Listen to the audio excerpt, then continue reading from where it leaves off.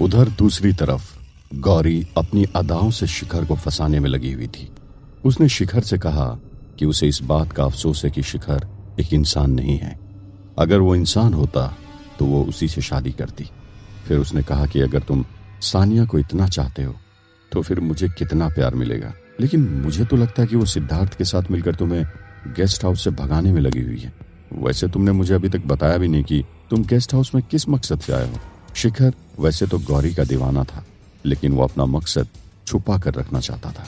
उसने गौरी को सोच समझ कर जवाब दिया और कहा कि मैं मैं तो बस तुम्हारे पीछे यहाँ चला है और वो दोनों मेरे साथ चली आई। सिद्धार्थ और सानिया से तो मैं यूँ ही निपट सकता हूँ, लेकिन तुम्हें देखकर मेरा दिमाग काम करना बंद कर देता है।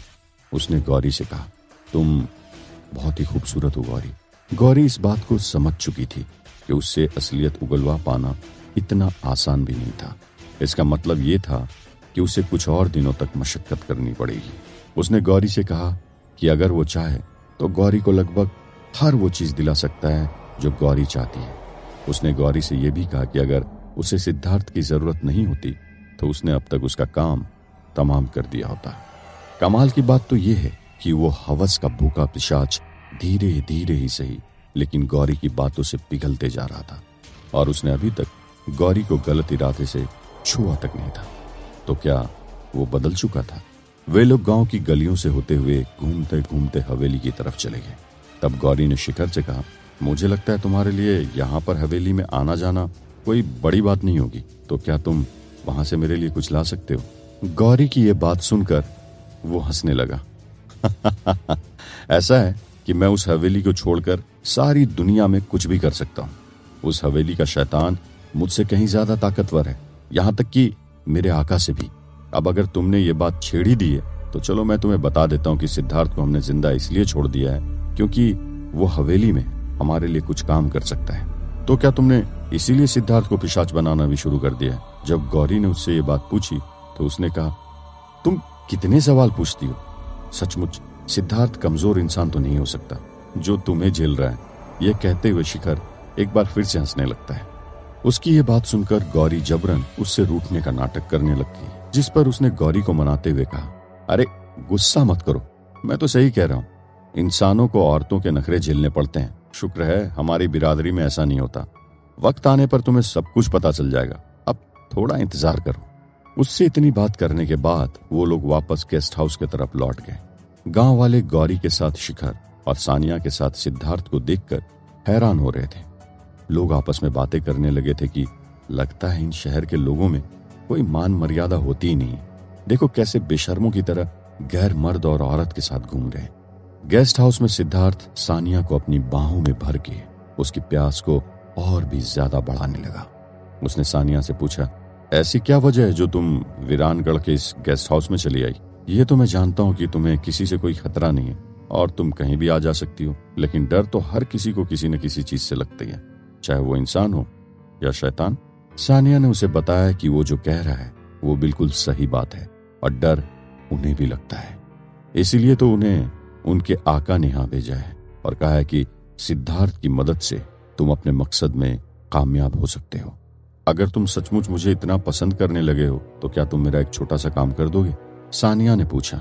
मैं तुम्हें पसंद तो बहुत करता हूँ। क्या इसमें कोई शक है? सिद्धार्थ ने सानिया के सवाल का जवाब दूसरे सवाल से दिया। अरे, नहीं नहीं, मैं तो बस यूँ ही कह रही थी। सानिया के इतना कहते ही सिद्धार्थ ने भी उस पिशाचनी का फ़ायदा उठाने की बात सोची और उससे कहा, तुम तो एक पिशाचनी हो। तुम्हें वीरानगढ़ के भूतों से तो डरने की कोई ज़रूरत नहीं होगी। तो क्या तुम हवेली में मेरा एक छोटा सा काम कर दोगी? हाँ। अगर ऐसा है तो हम लोग ये सौदा कर सकते हैं। तुम बताओ, मैं तुम्हारी क्या मदद कर सकती हूँ? सानिया ने कहा, तुम्हें मुझे बस इतना बताना होगा कि मेरे पेरेंट्स हवेली में कहाँ पर है और वो किस हालात में है? सिद्धार्थ ने पूछा, लेकिन सानिया ने जवाब दिया, नहीं नहीं, उस हवेली में तो मैं तुम्हारी कोई मदद नहीं कर पाऊँगी। ये बात सच है कि मुझे हवेली के भूतों से डर नहीं, क्योंकि मैं खुद भी एक भूत हूँ। लेकिन उस हवेली पर भूतों की हुकूमत नहीं है, बल्कि एक शैतान की हुकूमत है, जो उन सभी भूतों का भी मालिक है। सानिया ने सिद्धार्थ से कहा कि जिस तरह की बहादुरी उसने वीरानगढ़ में दिखाई है, ऐसी बहादुरी आज तक कभी नहीं देखी गई। इसलिए हमें हुक्म मिला है कि हम तुम्हारी मदद से अपना काम पूरा करें। उसने बताया कि उन्होंने सिद्धार्थ को डरा कर देख लिया, लेकिन वो फिर भी उनके काबू में नहीं आया। फिर उन्होंने उसे अपने जैसा बनाना शुरू कर दिया, क्योंकि अगर एक बार वे लोग सिद्धार्थ को अपनी तरफ़ पिशाच बना देंगे तो उनकी बहुत सारी परेशानियाँ खत्म हो जाएँगी। उसने बताया कि उनका भी एक सरदार है, जो उस हवेली से उसके लिए बेशकीमती चीज़ चाहता है। एक तरफ़ सिद्धार्थ तो दूसरी तरफ़ गौरी। धीरे धीरे उन पिशाचों को अपने वश में करके उनसे उनके गेस्ट हाउस में आने का राज उगलवाना चाह रहे थे। वे लोग काफ़ी हद तक कामयाब भी हो गए थे। सानिया ने सिद्धार्थ को बताया कि सिर्फ़ वे लोग ही नहीं, बल्कि दुनिया भर के बहुत से पिशाच और भूत हवेली से उस कीमती चीज़ को हासिल करने की कोशिश करते आए हैं। लेकिन अब तक कोई कामयाब नहीं हो पाया। उसने सिद्धार्थ को बताया कि अगर वे लोग यहाँ नहीं आते तो सिद्धार्थ से यह काम करवाने के लिए कोई दूसरा पिशाच आ गया होता। सिद्धार्थ ने उससे पूछा, लेकिन वो उन लोगों के लिए यह सब कुछ करेगा क्यों?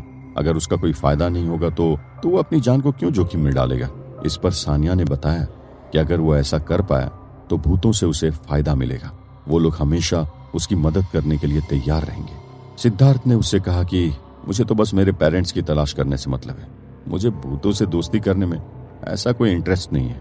जब सिद्धार्थ से उसकी इतनी सारी बातें हो गई तो उसके बाद सानिया उससे सच छुपा नहीं पाई और उसने सिद्धार्थ से कहा कि दरअसल यह सब कुछ एक तलवार के लिए हो रहा है। हवेली में कहीं एक बहुत शानदार और बेशकीमती तलवार है। वो तलवार सिर्फ़ शैतानों के काम की है। अगर वो उनके सरदार के हाथ लग जाए तो उनका सरदार बहुत ताकतवर हो जाएगा। सिद्धार्थ को यह सौदा मंजूर था। उसने कहा कि अगर मुझे मेरे पेरेंट्स के बारे में कुछ पता चल जाए तो मुझे भूतों की मदद करने से कोई परहेज नहीं है। यहाँ गेस्ट हाउस में सिद्धार्थ और सानिया के बीच एक सौदा तय हो चुका था। वहीं दूसरी तरफ़ शिखर ने गौरी को अभी भी सारी हकीकत नहीं बताई थी। ये बहुत हैरानी की बात थी कि वो दोनों पिशाच जो अभी तक सिर्फ़ और सिर्फ़ हवस के पीछे दौड़ रहे थे, उन्होंने इस बार वैसा कुछ भी करने की कोशिश तक नहीं की थी। उन दोनों में ऐसा बदलाव कैसे आया था? शायद वे दोनों बस यही चाहते थे कि गौरी और सिद्धार्थ उनकी मदद करने के लिए तैयार हो जाए। अब गेस्ट हाउस में ऐसी कोई परेशानी नहीं रह गई थी। शाम का वक्त हो गया था और सभी गेस्ट हाउस में खाना खा रहे थे। रात होने से पहले सिद्धार्थ के लिए खाना खा लेना ज़रूरी था। इसलिए सभी लोग जल्दी जल्दी खाना खाने लगे थे। ना तो उनमें से कोई हवेली गया था और ना ही आज गेस्ट हाउस में ऐसी कोई बुरी घटना घटी थी। तो क्या रात भी ऐसे ही चैन से गुजर जाने वाली थी? अब क्या होने वाला था? यही कि सिद्धार्थ उन पिशाचों की मदद करेगा और बदले में वो लोग उसकी मदद कर देंगे। मतलब सब कुछ अब आसानी से निपट जाएगा। तो क्या इसके बाद सिद्धार्थ और गौरी की ज़िंदगी में सुकून की वापसी हो जाएगी और सिद्धार्थ को उसके पेरेंट्स मिल जाएँगे? नहीं, ये सब कुछ एक कल्पना भर थी। असलियत तो इससे कोसों दूर थी। गेस्ट हाउस में तो बुरा कुछ भी नहीं हुआ था, लेकिन गाँव में आज तीन घरों में आग लगा दी गई थी और गाँव से चार लोगों को अगवा कर लिया गया था। कमाल की बात तो ये थी कि गाँव वालों को बहुत से घोड़ों की आवाज़ सुनाई दी थी और घोड़ों के कदमों से धूल भी उड़ रही थी, पर उन्हें अब तक कुछ दिखाई नहीं दिया, जब तक उन लोगों ने इनके घरों में आग नहीं लगा दी थी। हाँ गाँव के मुखिया और कुछ लोगों ने देखा कि काले कपड़ों में डाकुओं की तरह आए उन लोगों ने अपने सरदार के कहने पर आग लगा दी। जब धूल का गुब्बार और आग का धुआँ हटा तो गाँव वालों को उन खतरनाक लोगों के चेहरे दिखाई दिए। डर और खौफ का एक ऐसा मंजर बना दिया कि थोड़ी देर पहले जो गाँव वाले डाकुओं का सामना करने के लिए घर से निकले थे, उनके पैर जैसे ज़मीन में ही धस गए थे। हाथ थर थर कांपने लगे और किसी में भी इतनी हिम्मत नहीं कि अपने घर के अंदर सो रहे लोगों को आग लगने से पहले बाहर निकालने के लिए ले जा सके। इसके अलावा वे डाकू अलग अलग घर के चार लोगों को अपने साथ अगवा करके भी ले गए। वे डाकू इंसान नहीं थे, शैतान थे, पिशाच थे, भूत थे, लेकिन इंसान तो नहीं थे। हाँ सभी गाँव वालों का ये तो कहना था कि उन लोगों में इंसानों की तरह कुछ भी नहीं था। उनमें से कुछ के कंधों पर तो सिर भी नहीं थे। अब ये नई बला क्या थी? कौन थे वे डाकू? अगर वे इंसान नहीं थे तो फिर डाकू बनकर क्यों आए थे? उन्होंने गाँव के घरों में आग क्यों लगाई और लोगों को अगवा क्यों किया? ये सब कुछ वीरानगढ़ में ही क्यों हो रहा था? जानने के लिए सुनते रहिए।